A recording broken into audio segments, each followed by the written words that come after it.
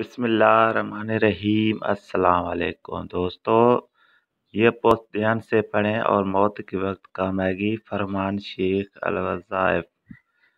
दोस्तों, एक पास ने फरमाया कि कलमा तैयब पढ़कर अल्लाह पाक से अर्ज़ किया करें कि या अल्लाह, मैं ये कलमा तेरे पास अमानत रखवाता हूँ।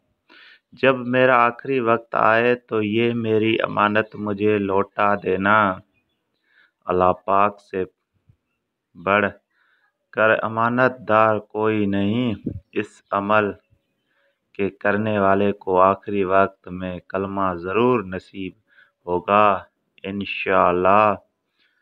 दोस्तों, आज का ये वीडियो आप दोस्तों को अच्छे लगे तो हमारे चैनल को सब्सक्राइब, लाइक और कमेंट में अपना राय हमें ज़रूर बताएँ।